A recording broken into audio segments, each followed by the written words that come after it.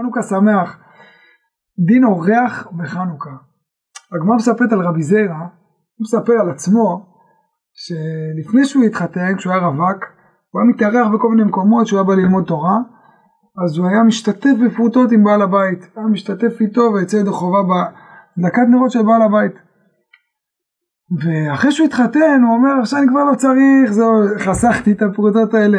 אני, גם כשאני מסתובב, אני יושב ללמוד תורה בכל מיני מקומות, לא בבית, אני יוצא ידי חובה בהדלקה של אשתי בבית. מדליקים עליי בגו ביתי, בתוך הבית שלי מדליקים עליי, ככה סיפר רבי זעירא. מה יוצא מכאן? שהאורח יכול לצאת ידי חובה בהדלקה של המארחים שלו. להשתתף בפרוטות, להיות חלק.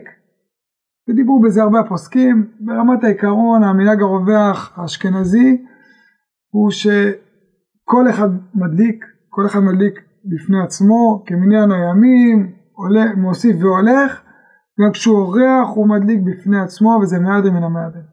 המנהג הספרדי הרווח יותר זה שכל, שרק אחד, בעל הבית, הוא המדליק וכולם נספחים אליו וכולם נסמכים אליו.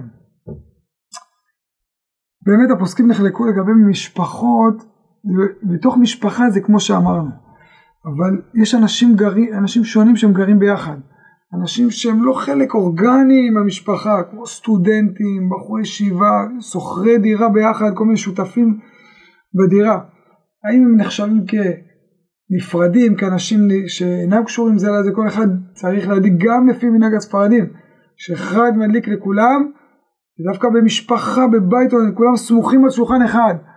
אבל כשהרבה, כמה אנשים שהם גרים בבית אחד והם לא, מבחינה כלכלית יש להם אה, פירוד מוחלט, אז הם לא קשורים זה לזה, ואז אולי מדליקים באמת כל אחד בפני עצמו גם למנהג הספרדים.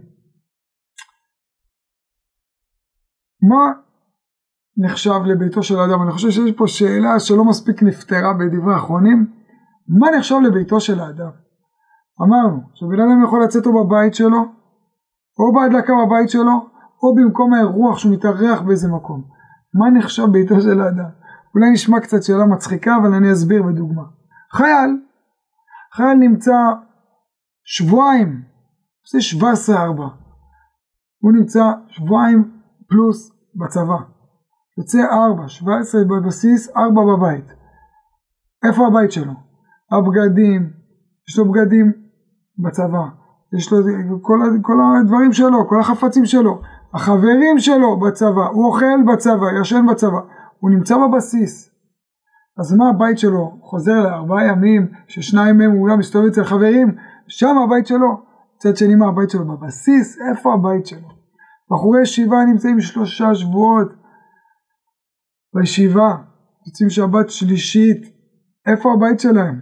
יש להם פה חברים, אוכל, מטלטלים, כל הדברים, הצרכים שלהם פה, וגם שגם שם יש להם. אה, כשהוא חולה הוא חוזר הביתה להורים? איפה הבית של הבן אדם? וקצת יותר קיצוני, בסתם בן אדם, יש לו שני בתים. זה שבוע פה, שבוע שם, יש הרבה אנשים שעובדים בחו"ל, וככה החיים שלהם נראים. לטוב ולרע, אבל ככה זה, זה, זו המציאות. איפה הבית שלו? שאלה עוד מעשית שנשאלה אה, בחור שרוצה לצאת ידי חובה בבית, שמדליקים עליו בגו ביתי, בגו ביתי כמו שאמר רבי זרע. אבל מה? ההורים גרושים ויש לו שני בתים. חמישים אחוז מהזמן חוזר הוא פה, חמישים אחוז מהזמן חוזר לפה. פה מדליקים, פה לא מדליקים, איפה הוא יוצא ידי חובה? איפה הבית של הבן אדם? אני...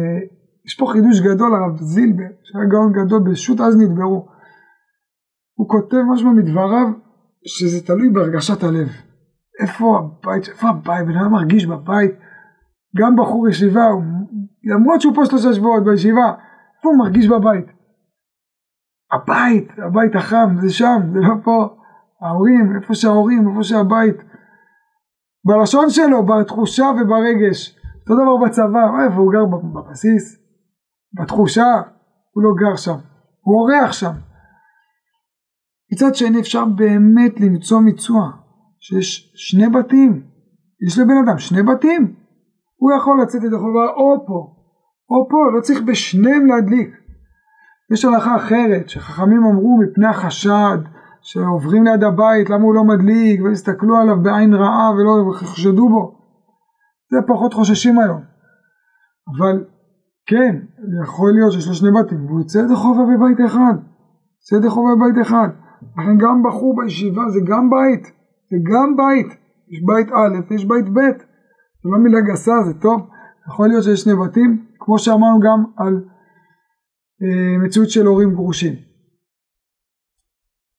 אז מה יצא לנו שיש בית שיוצאים בהדלקה בהדלקת הנר בבית אפשר גם לצאת ידי חובה בהדלקת הנר שבמקום האירוח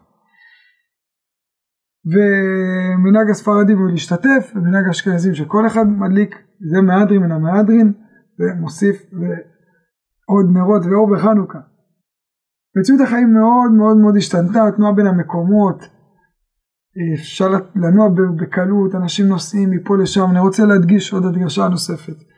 ברמת העיקרון הפוסקים מקובל לומר שבקום האירוח הוא עם לינה. זאת אומרת, אני כאן אורח כשאני לן פה. אבל אם בן אדם יוצא מהבית שלו להדלקת נרות משפחתית, איזה אירוע משפחתית כלשהו, הוא יוצא מהבית שלו לשם, ובמשך זמן הדלקה הוא נמצא שם. ומדליקים שם כמובן עם ברכות ושירים והכל. אבל הוא לא נחשב אורח שם, גם להשתתף בפרוטות זה לא יעזור לו, ובטח אם הוא גם ידליק שם זה לא יעזור, זה לא הבית שלך, זה גם לא מקום אירוח, כי מקום אירוח זה משמעותי, הוא קבוע, הוא עם לינה, ואם בזמן השהות הזו הוא נמצא שם, הוא לא יוצא לחוב, הוא צריך להדליק בבית, או לפני שהוא יוצא בזמן, ודיברנו על פלג המנחה, או אחרי שהוא חוזר הביתה 11, 12 אפילו באחד, לכשהוא יחזור, הכל כפי הצורך החשוב שבדבר. חנוכה שמח.